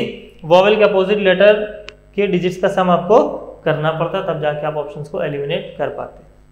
चलिए, बात कर लेते हैं हम लोग यहाँ पे अगले पूछे गए प्रश्न की, जो कि आपके एग्ज़ाम से संबंधित है। यहाँ पे किसके लिए कोड पूछा है? फोस्टर के लिए। फोस्टर के लिए आपको कोड दिया गया है। पूछा किसके लिए गया है? मैरिज के लिए। पोस्टर और यहाँ पे आपको कार्गो दो आपको शब्दों का कोड दिया गया है। अच्छा हम कोड की बात करें तो यहाँ पे जितने लेटर्स हैं, उससे ज़्यादा डिजिट के यहाँ पे आपको कोड बनते हुए दिखाई दे रहे हैं। कोड की हम बात करें तो देखो सिक्स अगर प्लेस वैल्यू आपके दिमाग में बिल्कुल बैठ चुकी है तो एफ़ की प्लेस वैल्यू कितनी होती है? सिक्स आपको पता है। ओ की जगह पे यहाँ पे आपको लिखा हुआ दिखाई दे रहा है वन टू एस की जगह पे दिखाई दे रहा है आपको नाइनटीन टी की जगह पे आपको दिखाई दे रहा है ट्वेंटी ई e की जगह पे आपको दिखाई दे रहा है ट्वेंटी टू आर की जगह पे दिखाई दे रहा है आपको एटीन देखो प्लेस वैल्यू याद है लॉजिक्स के साथ में फैमिलियर है तो लॉजिक अब तक आपके दिमाग में हिट कर गया होगा कि यहाँ पे क्या लॉजिक लग रहा है। यहाँ पे भी आपको वोवेल कॉन्सोनेंट का लॉजिक लगता हुआ दिखाई दे रहा है, यानी कि जो भी कॉन्सोनेंट है, उनकी place value as it is लिखी गई है। जबकि जो वोवेल है, वहाँ पे क्या किया गया है उनके अपोजिट लेटर्स की प्लेस वैल्यू लिख दी गई है। जैसे कि ओ के अपोजिट लेटर क्या होता है? एल होता है, और एल की प्लेस वैल्यू होती है बारह। ई e का अपोजिट लेटर वी होता है, और वी की प्लेस वैल्यू होती है बाईस। बाकी आप क्लियरली देख सकते हैं आर की प्लेस वैल्यू अट्ठारह एज इट इज़ टी की place value twenty as it is S की place value 19 as it is और एफ़ की place value 6 as it is clear पूछा किसके लिए गया है कोड यहाँ पे भी देख सकते हो। सी के लिए तीन ए का अपोजिट जेड 26 आर के लिए 18 जी के लिए 7 और ओ का अपोजिट एल तो उसके लिए 12 क्लियर पूछा किसके लिए गया है? मैरिज तो एम की प्लेस वैल्यू कितनी होती है? थर्टीन होती है, यानी कि ये ऑप्शन कैंसिल ए का अपोजिट जेड यानी कि क्या हो जाएगा? छब्बीस, दोनों ऑप्शन में दिया गया है. अट्ठारह अट्ठारह और आई का अपोजिट आर यानी कि तीन बार आपको क्या मिलेगा? अट्ठारह मिलेगा. तो तीन बार अट्ठारह अगर हम बात करें तो आपको ऑप्शन नंबर डी में बनता हुआ दिखाई दे रहा है. क्लियर उसके बाद अगर हम बात करें तो एक अपोजिट जेड छब्बीस. फिर हम बात करें तो जी की प्लेस वैल्यू सेवन और ई का अपोजिट वी यानी कि बाईस. तो ऑप्शन नंबर डी क्या हो जाएगा? सही उत्तर हो जाएगा दिए गए प्रश्न के लिए। बात कर लेते हैं हम लोग यहाँ पे अगले क्वेश्चन की। चलिए। अगले अगर मैं यहाँ पे प्रश्न की बात करूँ तो पूछा है certain code language topper is coded as 66 अच्छा टॉपर के लिए कोड दिया गया 66 मार्क के लिए कोड दिया गया है 61 और पूछा किसके लिए? इंड्यूस के लिए। करना क्या है अपने को? यहाँ पे मार्क में आपके नंबर ऑफ़ लेटर्स कम है। तो हम मार्क के साथ में जाएँगे, सबसे पहले हम क्या लिखेंगे? एम ए आर के क्लियर और मार्क के लिए कोड क्या दिया गया? है 61 दिया गया है। तो जैसा कि हमने कहा, सबसे पहले हम क्या करेंगे? सम ऑफ़ प्लेस वैल्यू करेंगे। तो प्लेस वैल्यू की हम यहाँ पे बात करें तो तेरह, एक, अट्ठारह, ग्यारह, इन सब का अगर हम सम करेंगे तो तेरह, एक, चौदह चौदह और आठ, बाईस, दस, बत्तीस, दस, बयालीस, एक, तिरालीस। यहाँ पे आपको कितना मिल रहा है? फोर्टी थ्री यहाँ पे इन सब का सम आपको कितना मिल रहा है? फोर्टी थ्री जबकि यहाँ पे आपको नंबर क्या दिया गया है? Sixty one. तो मैंने कहा, जो भी लॉजिक हम लोग यहाँ पे अप्लाई करेंगे, वो आपका ना सिर्फ़ दिए गए लेटर्स की प्लेस वैल्यू पे बट इनके विपरीत अक्षरों के स्थानीय मान पे भी, यानी कि अगर हम बात करें तो इसके अपोजिट लेटर की प्लेस वैल्यू पे भी अप्लीकेबल होता हुआ दिखाई दे सकता है। तो यहाँ पे मैं आपको कुछ अप्रोचेस बता रहा हूँ, जिससे आप क्या कर सकते हैं क्वेश्चन को इन शॉर्ट आप हल कर सकते हैं। अगर हम इसके अपोजिट लेटर की प्लेस वैल्यू की बात करें तो N Z I P place value की बात करें तो चौदह, छब्बीस, नौ, सोलह। इन सब का अगर आप सम करोगे तो चौदह और छब्बीस हो गया चालीस चालीस और नौ हो गया forty nine forty nine plus six करोगे तो फिफ्टी फाइव और टेन करोगे तो सिक्सटी फाइव सिक्सटी फाइव में से अगर आप यहाँ पे नंबर ऑफ़ लेटर्स को माइनस करोगे तो कितना मिल जाएगा? सिक्सटी वन यानी कि आप क्या करेंगे? अक्षरों के स्थानीय मान का योग कर लेना है आपको, और उसके बाद उसमें से क्या कर लेना है? नंबर ऑफ़ लेटर्स को माइनस कर लेना है। क्लियर तो यहाँ पे आपको मिल जा रहा है सिक्सटी वन अब ज़रूरी नहीं कि ये लॉजिक आपको यहाँ पे भी लगता हुआ दिखाई दे। लगता हुआ दिखाई देगा, तब हम इंड्यूस पे सेम लॉजिक को अप्लीकेबल करेंगे। अगर नहीं लगेगा तो हम इसको दूसरे लॉजिक से फाइंड आउट करने का प्रयास करेंगे नंबर्स को। ठीक है ना? चलिए अब इसका मैंने कहा कि शॉर्टकट तरीके की बात। जब कभी भी आप क्या करो प्लेस वैल्यू को, यानी कि दिए गए जो भी वर्ड है, उनके लेटर्स की प्लेस वैल्यू को आप सम कर लो, और इसके आसपास का नंबर बनता हुआ नहीं दिखाई दे तो उस केस में यहाँ पे जितने नंबर ऑफ़ लेटर्स हैं, कितने हैं? चार। हमें पता है अपोजिट लेटर्स की प्लेस वैल्यू का सम कितना होता है? Twenty seven twenty seven into क्या कर लेना है? फोर कर लेना है। तो चार दुनिया आठ, सात चौक अट्ठाईस। यानी कि एक सौ आठ क्या आ जाएगा? इसका सम आ जाएगा और 108 में से अगर हम तिरालीस को घटा लेते तो भी हमें यही वैल्यू मिलती। कैसे? यानी कि हमें क्या मिलता? 65 ही मिलता। देखो, आठ में से तीन जाता तो पाँच और दस में से चार जाता तो छह। यानी कि अगर आप सीधे सीधे प्लेस वैल्यू को जोड़ चुके हैं तो अपोजिट लेटर पे फिर से प्लेस वैल्यू को रख करके जोड़ने का प्रयास बिल्कुल ना करें।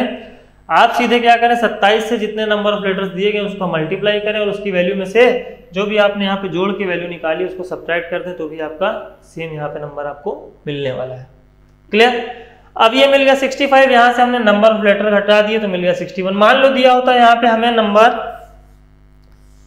64 तब हम क्या करते तो हो सकता था जो हमारा वैल्यू आया, उसमें से हम नंबर ऑफ़ वोवेल्स को माइनस कर दें। या अगर दिया होता 62 तो नंबर ऑफ़ कॉन्सोनेंट्स को माइनस कर दें। इसी तरीके से एडिशन के लिए भी लॉजिक दिया हुआ हो सकता था।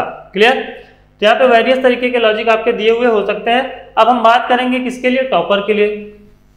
तो टॉपर के लिए क्या करोगे? अपोजिट लेटर हमें पता है तो यहाँ पे हम डायरेक्टली अपोजिट लेटर की प्लेस वैल्यू लिख लेते हैं। सेवन ओ का अपोजिट एल तो बारह पी का अपोजिट के तो ग्यारह अगेन यहाँ पे। ग्यारह ई e का अपोजिट भी तो बाईस और आर का अपोजिट आई तो नौ।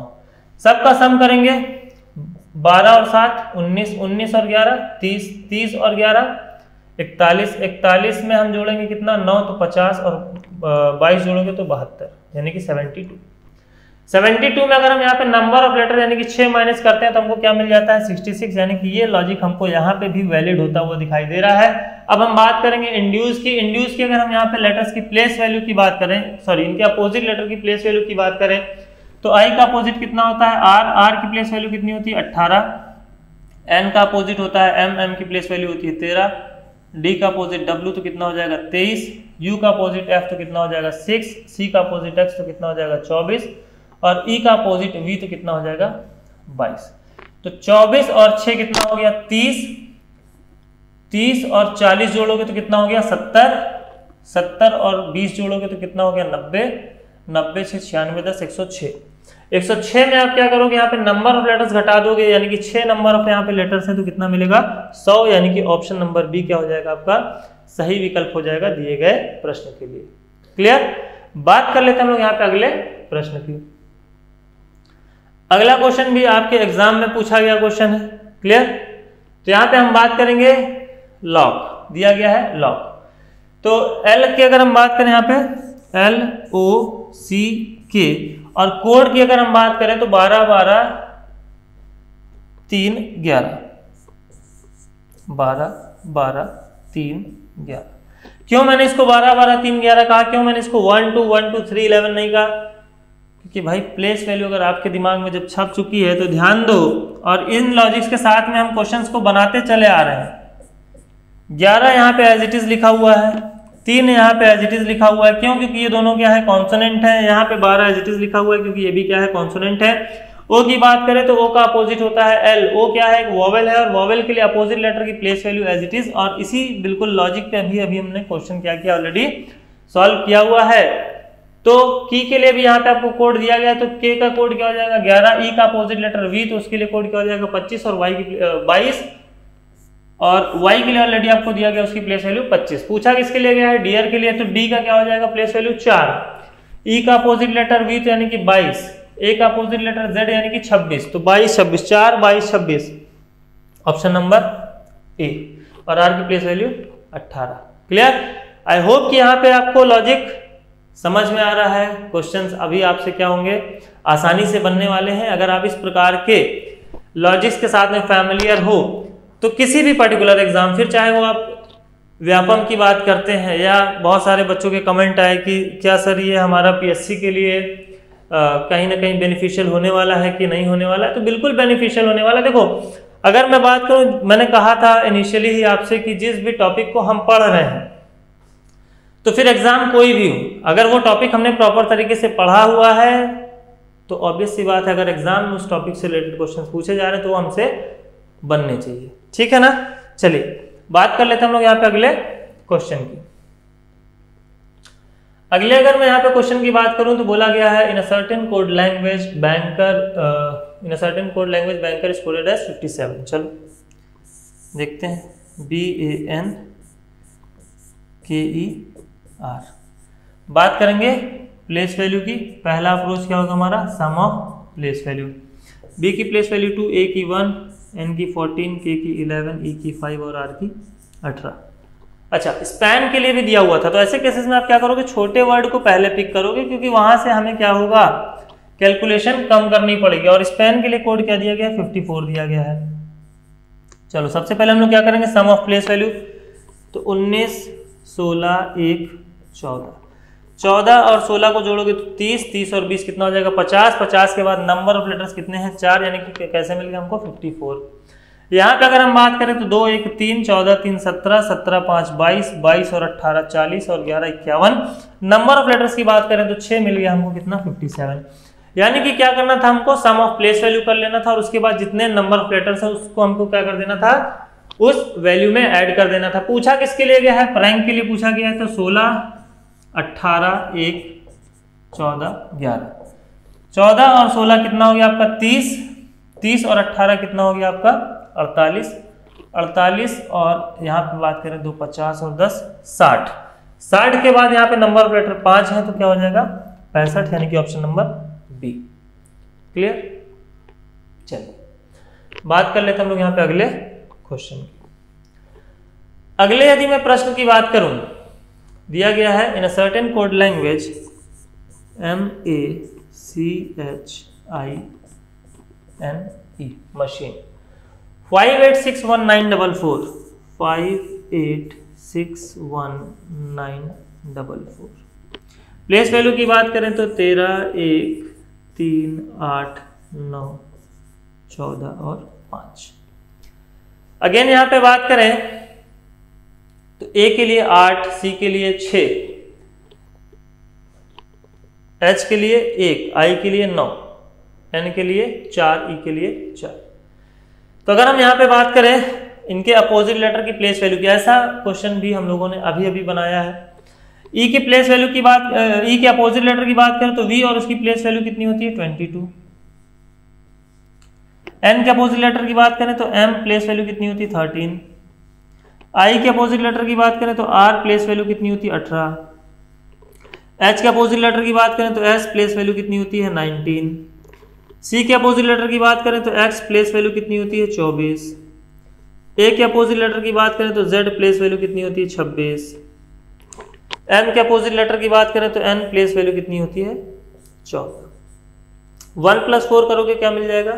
फाइव टू प्लस सिक्स करोगे क्या मिल जाएगा? एट टू प्लस फोर करोगे क्या मिल जाएगा? सिक्स। वन प्लस नाइन करोगे क्या मिल जाएगा? टेन। फिर टेन में वन प्लस ज़ीरो करोगे तो क्या मिल जाएगा? वन। वन प्लस एट करोगे क्या मिल जाएगा? नाइन। वन प्लस थ्री करोगे क्या मिल जाएगा? फोर। टू प्लस टू करोगे क्या मिल जाएगा? फोर। यानी कि यहाँ पे हम बात करें तो कोई वोवल कॉन्सोनेंट नहीं, जो भी आपके दिए गए लेटर्स हैं, यानी कि वर्ड में जो भी आपके यहाँ पे लेटर्स हैं उनके अपोजिट लेटर की प्लेस वैल्यू की डिजिट्स का हमको क्या कर लेना था? सम कर लेना था और उसी को हमने क्या कर दिया? एज कोड यहाँ पे रख दिया है। पूछा किसके लिए गया? है स्टोक के लिए पूछा गया है। एस का अपोजिट होता है। एच एच की प्लेस वैल्यू होती है आठ option number one cancel option number two cancel T का अपोजिट होता है जी केवल और केवल ऑप्शन नंबर डी में आपको सेवन दिखाई दे रहा है। जी की प्लेस वैल्यू होती है सेवन बात करेंगे हम लोग यहाँ पे अगले क्वेश्चन की। अगले यदि मैं क्वेश्चन की बात करूँ तो बोला है send is coded as 168 S E N D send के लिए कोड क्या दिया गया है? 168 प्लेस वैल्यू की बात करें। 19 5 14 और 4 अच्छा पर्स के लिए पूछा है। चलिए। तो सबसे पहले क्या था हमारा अप्रोच हमें क्या करना था? सबसे पहले sum of place value sum of place value की बात करें तो चौदह, चार, अट्ठारह, पाँच, तेईस, नौ, बत्तीस, दस, बयालीस, फोर्टी टू। ये तो हो गई बात इसके सम ऑफ़ डिजिट की। यहाँ पे नंबर आपको काफ़ी ज़्यादा दिखाई दे रहा है। अच्छा हम अपोजिट लेटर की अगर बात करें तो एस का अपोजिट एच यानी कि आठ ई e का अपोजिट वी यानी कि बाईस एन का अपोजिट एम यानी कि तेरह डी का अपोजिट डब्ल्यू यानी कि तेईस।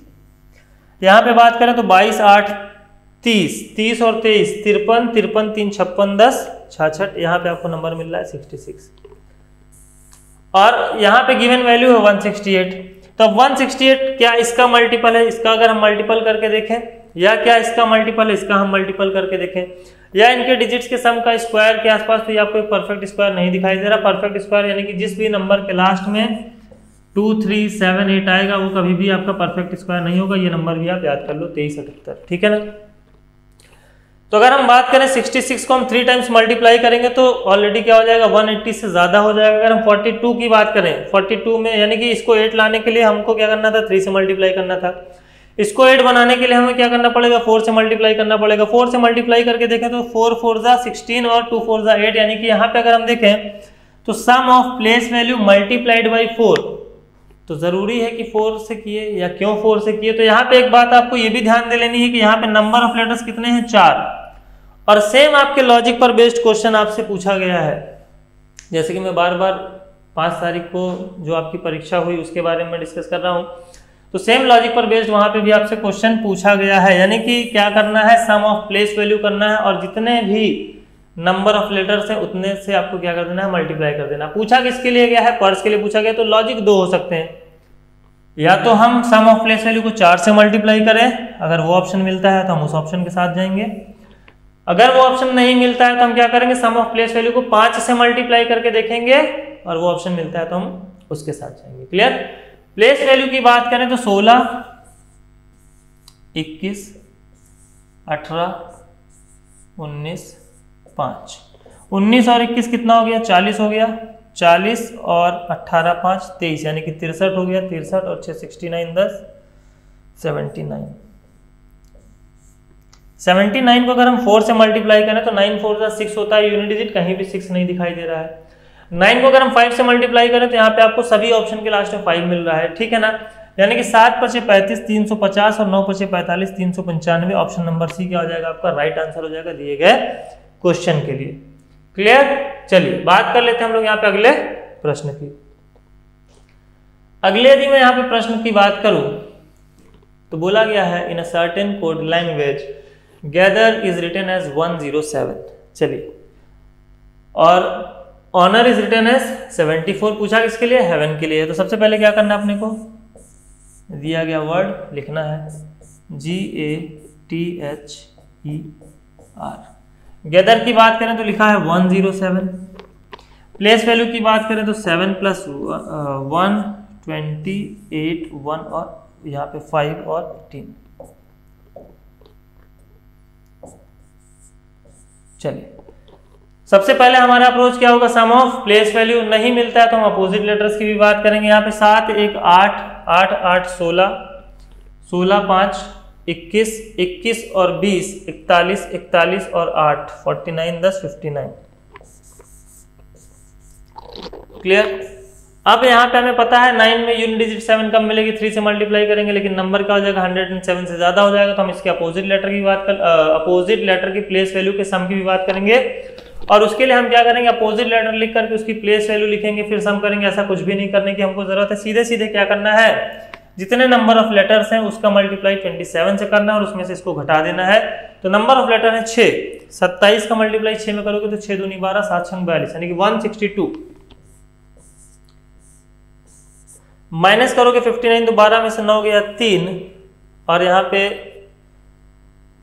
पाँच में से पाँच गया ज़ीरो और एक 103 अब 103 के आसपास आपको 107 दिखाई दे रहा है। अब हम क्या करेंगे? यहाँ पे नंबर ऑफ़ लेटर्स की बात करेंगे तो 6 है तो ज़्यादा है। अब हम वोवेल और कॉन्सोनेंट की बात कर लेते हैं। 103 में हम अगर वोवेल देखें तो दो हैं तो 105 हो रहा है, और कॉन्सोनेंट देखें तो चार है। यानी कि प्लस हम कर लेंगे नंबर ऑफ़ कॉन्सोनेंट हमें मिल जाएगा 107 सेम हम लॉजिक किस पे अप्लीकेबल करेंगे? ऑनर पे। दिए गए वर्ड ऑनर पे। अगर हम ऑनर के अपोजिट लेटर की प्लेस वैल्यू की बात करें तो एच का अपोजिट हो जाएगा एस ओ का अपोजिट हो जाएगा एल एन का अपोजिट हो जाएगा एम ओ का अपोजिट हो जाएगा एल यू का अपोजिट हो जाएगा एफ़ और आर का अपोजिट हो जाएगा आई इन सब का अपने को क्या कर लेना है? सम कर लेना है। तो 12 और 13 कितना हो गया? 25 25 और 6 कितना हो गया? इकतीस। इकतीस और उन्नीस कितना हो गया? पचास। पचास और बारह हो गया? बासठ। बासठ और नौ हो गया? इकहत्तर। Seventy one. सेवेंटी वन की अगर हम बात करें तो यहाँ पे नंबर ऑफ़ हमको क्या करना था? कॉन्सोनेंट। तो नंबर ऑफ़ कॉन्सोनेंट एक, दो और तीन। तो सेवेंटी वन प्लस थ्री करेंगे तो कितना मिल जाएगा हमको? सेवेंटी फोर जो कि आपको ऑनर के लिए कोड लिखा हुआ दिखाई दे रहा है। यानी कि लॉजिक बिल्कुल क्लियर है, क्या कर लेना अपने को? सबसे पहले हमने कहा सम ऑफ़ प्लेस वैल्यू करेंगे सीधा सीधा नहीं बन रहा है तो अपोजिट लेटर के भी हम सम ऑफ़ प्लेस वैल्यू करके देख लेंगे। तो अपोजिट लेटर का जब हमने क्या किया सम ऑफ़ प्लेस वैल्यू किया और उसके बाद दिए गए वर्ड में जितने भी कॉन्सोनेंट थे, उसको हमने क्या कर दिया? ऐड कर दिया गया। तो हमें यहाँ पे गिवन जो यहाँ पे आपका नंबर है, वो मिल गया। पूछा किसके लिए है? हेवन के लिए है। तो हेवन के, अगर हम बात करें अपोजिट लेटर की प्लेस वैल्यू की तो एच का अपोजिट लेटर हो जाएगा। एस प्लेस वैल्यू हो जाएगी उन्नीस ई e का अपोजिट लेटर हो जाएगा वी प्लेस वैल्यू हो जाएगी बाईस। ए का अपोजिट लेटर हो जाएगा जेड प्लेस वैल्यू हो जाएगी सॉरी छब्बीस।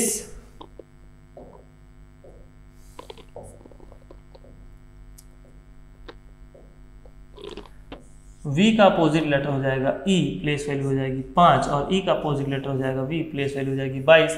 N का अपोजिट लेटर हो जाएगा M प्लेस वैल्यू हो जाएगी तेरह। बाईस और तेरह हो गया आपका पैंतीस पैंतीस पाँच हो गया आपका चालीस चालीस और बीस हो गया साठ साठ बीस हो गया अस्सी, इक्यासी इक्यासी और बीस हो गया एक सौ एक और छ, एक सौ सात। एक सौ सात में हम यहाँ पे नंबर ऑफ़ कॉन्सोनेंट्स की बात करें तो एक, दो, तीन एक सौ दस यानी कि option number B clear logic की बात करें तो क्या था लॉजिक आपका? दिए गए वर्ड में जो भी आपके लेटर्स हैं, उनके अपोजिट लेटर्स आपको लिखने थे। सबकी प्लेस वैल्यू का आपको क्या कर लेना था? सम कर लेना था। और उसके बाद दिए गए वर्ड में जितने भी कॉन्सोनेंट्स हैं, उसको आपको क्या कर देना था? ऐड कर देना था। क्लियर तो ये तो हो गई बात किसकी? आपके न्यूमेरिकल कोडिंग की।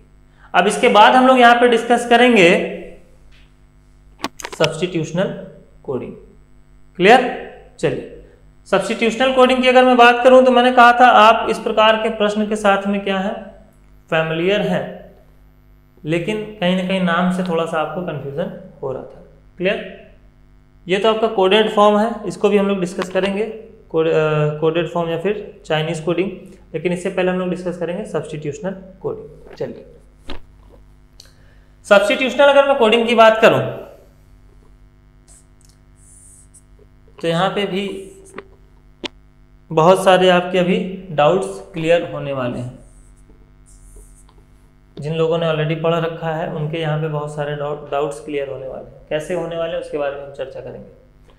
सबसे पहले यहाँ पे दिया गया है if green is called as yellow yellow is called as blue blue is called as black black is called as brown and brown is called as white which of the following would be the colour of leaf यानी कि हम क्या करते हैं? Exam में जब हमें इस प्रकार का प्रश्न दिखाई देता है तो लग जाते हैं शिद्दत के साथ पढ़ने में है ना? तो बहुत ज़्यादा शिद्दत नहीं दिखानी है देखो, इस प्रकार के प्रश्न में अप्रोच क्या होना चाहिए, उसके बारे में हम लोग यहाँ पे बात करेंगे। हिंदी की अगर मैं बात करूँ तो बोला है, यदि ग्रीन को येलो कहा जाए, या फिर लिखा हुआ हो सकता था, यदि हरे को पीला कहा जाए, इस प्रकार से पूछा जा सकता है। येलो को ब्लू कहा जाता है ब्लू को क्या कहा जाता है? ब्लैक कहा जाता है। और ब्लैक को क्या कहा जाता है? ब्राउन कहा जाता है। ब्राउन को क्या कहा जाता है? व्हाइट कहा जाता है। तो निम्नलिखित में पत्ती का रंग क्या होगा? अब हमें पता है पत्ती का रंग क्या होगा। तो जब भी आपको इस प्रकार का प्रश्न दिखाई दे, यहाँ पे दो इंपॉर्टेंट चीज़ों को आपको ध्यान में रखना है। वो क्या है? देखो। कॉल्ड और मीन्स इसके बारे में हम लोग बात करेंगे। या फिर कॉल्ड की जगह पे आपको कई बार लिखा हुआ मिलेगा रिटर्न एज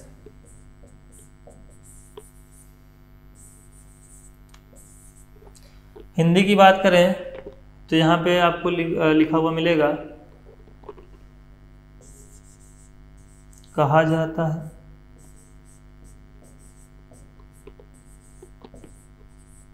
या फिर आपको मिलेगा, लिखा जाता है।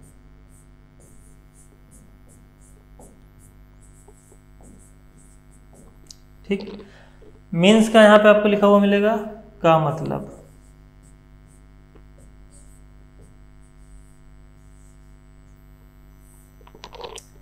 चलिए, दोनों में क्या डिफरेंस है इसके बारे में हम लोग यहाँ पे बात करेंगे। तो जब कभी भी आपको इस प्रकार का प्रश्न मिले, यानी कि फ़र्स्ट टाइप का क्वेश्चन मिले, आपको कुछ नहीं करना है। सीधे सीधे पढ़ना है एक लाइन उसके बाद सीधे कहाँ पहुँच जाना है? लास्ट में किसके लिए कलर पूछा है? तो यानी कि लास्ट में आपसे पूछा है which of the following would be the colour of leaf leaf का कलर क्या होगा? तो हमें पता है पत्ती का रंग क्या होगा? हरा होगा। आप कहोगे सूखी हुई पत्तियाँ भी तो हो सकती हैं, है ना? तुम लोग कुछ ज़्यादा ही दिमाग लगाने लगते हो और इसीलिए कई बार क्या करते हो? ज़्यादा दिमाग नहीं लगाना है। जितना दिया है पहले उसको समझिए। तो अगर हम बात करें यहाँ पे कलर ऑफ़ लीफ की तो कलर ऑफ़ लीफ क्या होता है? ग्रीन होता है।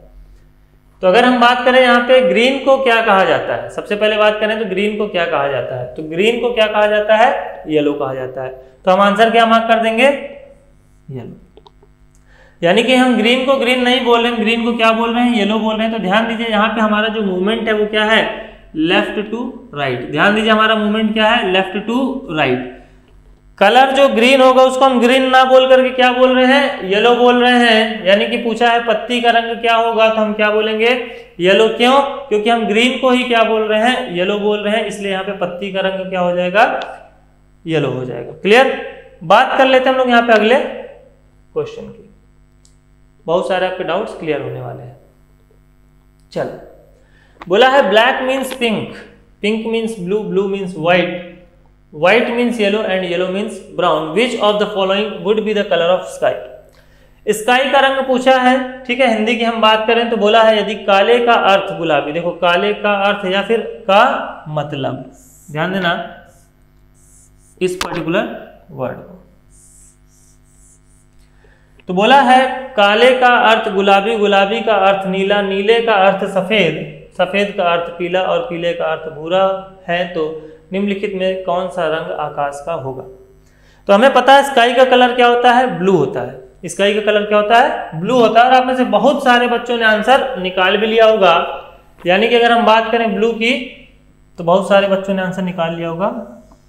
सफ़ेद, यानी कि इंग्लिश की हम बात करें तो व्हाइट और जितने भी लोगों का आंसर व्हाइट आया, सभी लोग यहाँ पे क्या है? गलत है। क्यों गलत है? ध्यान दीजिए। प्रीवियस अगर हम यहाँ पे क्वेश्चन की बात करें तो बोल रहा था green is called yellow green को येलो कहा जाता है, ठीक है? लेकिन यहाँ पे क्या बोला जा रहा है? ब्लैक मीन्स पिंक यानी कि ब्लैक का मतलब ब्लैक है ही नहीं। ब्लैक का मतलब एक्चुअल में क्या है? पिंक है, ठीक है ना? ब्लैक का मतलब एक्चुअल में क्या है? पिंक है। तो जब आपसे यहाँ पे पूछा गया है किसके लिए आसमान के लिए और आसमान का कलर क्या होगा? नीला होगा। तो बोल रहा है, नीले का मतलब क्या है? सफ़ेद है। तो मतलब ये कि नीले का मीन्स नीला है ही नहीं, उसका मीनिंग क्या हो रहा है? व्हाइट हो रहा है। जबकि यहाँ पे अगर हम बात करें तो देखो, गुलाबी का मतलब नीला है। तो गुलाबी का एक्चुअल मीनिंग गुलाबी नहीं है। गुलाबी का मीनिंग क्या है? ब्लू है। तो यहाँ पे हमारा जो मूवमेंट होगा, वो क्या हो जाएगा? राइट टू लेफ़्ट यहाँ पे हमारा जो मूवमेंट होगा, वो क्या हो जाएगा? राइट टू लेफ़्ट यानी कि आंसर क्या लिखेंगे हम लोग यहाँ पे? पिंक दोनों के बीच का डिफरेंस देखो। इस प्रकार के प्रश्न में हमारा मूवमेंट क्या हो जाएगा? लेफ़्ट टू राइट और इस प्रकार के प्रश्न में हमारा मूवमेंट कैसे होगा? राइट टू लेफ़्ट ठीक है ना? क्लियर जब भी आपसे मीन्स या फिर का मतलब या फिर का अर्थ इस प्रकार से क्वेश्चन पूछे तो यहाँ पे मूवमेंट क्या हो जाएगा? राइट टू लेफ़्ट बात कर लेते हैं अगले क्वेश्चन की. ऑन अनदर प्लैनेट ठीक है ना? किसी अन्य ग्रह पर. स्थानीय शब्दावली में पृथ्वी, जल, प्रकाश, वायु और आकाश के लिए क्रमशः आकाश, प्रकाश, वायु, जल और पृथ्वी है। यानी कि वहाँ पे जो शब्दावली है, वहाँ पे पृथ्वी के लिए हम पृथ्वी कह के नहीं बुलाते हैं, हम उसको क्या कह के बुलाते हैं? आकाश। जल को हम जल कह के नहीं बुलाते हैं क्या बुलाते हैं? प्रकाश बुलाते हैं। प्रकाश को हम वायु बुलाते हैं, वायु को हम जल बुलाते हैं और आकाश को हम क्या बुलाते हैं? पृथ्वी बुलाते हैं। यानी कि किसी दूसरे ग्रह पे ये शब्दावलियाँ हैं। अगर हम उसको कंपेयर करें अपने ग्रह के शब्दावली के साथ। ठीक है? चलो। पूछा क्या है प्रश्न में? अगर कोई वहाँ प्यासा है तो वह क्या पिएगा? तो ऑब्वियस सी बात है, पिएगा तो जल ही प्यासा है। लेकिन जल को हम जल कह के नहीं बुलाएँगे तो जल को हम क्या कह रहे हैं? किसी अन्य ग्रह पे, इसके बारे में हम लोग यहाँ पे चर्चा करेंगे। तो जल को हम लोग क्या कह रहे हैं? तो ध्यान दीजिए, पृथ्वी को हम लोग कह रहे हैं आकाश और जल को हम लोग कह रहे हैं प्रकाश। यानी कि कोई अगर उस पर्टिकुलर प्लेनेट पे क्या है, प्यासा है तो क्या पिएगा? प्रकाश, यानी कि लाइट तो इसका आंसर क्या हो जाएगा? ऑप्शन नंबर ए इसका सही उत्तर क्या हो जाएगा? ऑप्शन नंबर ए तो आई होप कि यहाँ पे आपको तीनों प्रश्नों के बीच का अंतर समझ में आया होगा। ठीक है, एक बार मैं फिर से यहाँ पे डिस्कस कर दे रहा हूँ। देखो जब कभी भी आपसे कॉल्ड या रिटर्न करके पूछेगा तो आपको कुछ नहीं करना है। फाइनली जिसका भी कलर पूछा गया है या जिसके लिए भी यहाँ पे पूछा गया है, आप क्या करोगे simply right to sorry left to right move on कर जाओगे और जो भी आपका आंसर होगा, आप उसी को क्या करोगे? मार्क करोगे। लेकिन जब कभी भी मीन्स या फिर का अर्थ या फिर का मतलब करके पूछेगा, आपका जो मूवमेंट है वो कैसा होगा? वो होगा राइट टू लेफ़्ट ना कि लेफ़्ट टू राइट कैसा होगा? राइट टू लेफ़्ट और यहाँ पे तो देखो वर्ड्स को सब्सटीट्यूट किया गया था। सब्सटीट्यूशनल कोडिंग क्यों करते हैं? क्योंकि पृथ्वी को हमने सब्सटीट्यूट किया किसके साथ में? आकाश के साथ में। जल को हमने सब्सटीट्यूट किया किसके साथ में? प्रकाश के साथ में। प्रकाश को हमने सब्सटीट्यूट किया वायु के साथ में। वायु को हमने सब्सटीट्यूट किया जल के साथ में और आकाश को हमने सब्सटीट्यूट किया पृथ्वी के साथ में। क्लियर तो हमने क्या किया सिंपली दिए गए आपके शब्दावली में जो भी यहाँ पे टर्मिनोलॉजी होती है, उसके लिए हम लोगों ने क्या किया? दूसरी टर्मिनोलॉजी को यूज़ किया, यानी कि उसको हम लोगों ने क्या कर दिया? सब्सटीट्यूट कर दिया। तो ऑब्वियस सी बात है, जब इसको आप क्या करोगे? कोई भी व्यक्ति प्यासा होगा तो जल के लिए जो टर्मिनोलॉजी है वहाँ पे, वो क्या है आपका? प्रकाश। तो आंसर क्या हो जाएगा यहाँ पे? लाइट तो आई होप कि यहाँ पे आपको अंतर समझ में आया होगा। जो कि हम क्या करते हैं? सिली मिस्टेक्स करते हैं इस प्रकार के आसान से। प्रश्नों में। क्लियर तो आज के लिए इतना ही। मिलते हैं हम लोग नेक्स्ट क्लास में, जहाँ पे हम लोग बचे हुए टाइप्स को भी क्या करेंगे? डिस्कस करेंगे। और रही बात इस पर्टिकुलर क्लास के शॉर्ट नोट्स की तो वो आपको कहाँ मिलेगा? तो मैं फिर से आपको बता दूँ, आपको कंपटीशन कम्युनिटी की वेबसाइट पे मिलेगा। और जैसे ही हम लोग इस टॉपिक को खत्म करेंगे, यानी कि ये टॉपिक जैसे ही हमारा कंप्लीट होता है, इस टॉपिक से रिलेटेड जो भी आपके प्रैक्टिस क्वेश्चंस होंगे, वो भी आपको कहाँ मिलने वाले हैं? कंपटीशन कम्युनिटी की वेबसाइट पे। रही बात टेलीग्राम चैनल की या टेलीग्राम ग्रुप की तो जल्द ही वो आपको क्रिएट करके लिंक प्रोवाइड करा दिया जाएगा, जिससे जो भी आपके डाउट्स आ रहे हैं, चाहे वो क्लास से रिलेटेड हो, या फिर जो भी आपको शॉर्ट नोट्स प्रोवाइड कराया जाता हो, या फिर जो भी आपके यहाँ पे क्वेश्चन के लिए आपको शीट्स प्रोवाइड कराई जाएँगी, उनमें से कुछ प्रश्न आपसे बनेंगे, कुछ नहीं बनेंगे, ठीक है? तो इस प्रकार के प्रश्नों को डिस्कस करने के लिए आपको यूट्यूब टेलीग्राम ग्रुप जल्द ही क्रिएट करके उसका लिंक आपको दे दिया जाएगा। तब तक जो भी आपके पास अवेलेबल रिसोर्सेज है, वहाँ से आप क्या करोगे? प्रैक्टिस करते रहोगे, जो भी डाउट्स आता है, उसको हम लोग क्या करेंगे? जब ग्रुप क्रिएट करेंगे तो वहाँ पे हम लोग क्लियर कर लेंगे। क्लियर तो आज के लिए इतना ही, मिलते हैं नेक्स्ट क्लास में। Thank you